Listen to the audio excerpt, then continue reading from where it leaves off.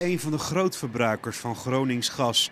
De voormalig kolencentrale aan de rand van Utrecht verstookt nu een half miljard kuub gas per jaar. Daarmee verwarmt hij 50.000 huizen en wekt hij stroom op. Maar binnenkort draait hij voor zeker de helft op afvalhout. Hadden we niet gewoon veel eerder moeten beginnen?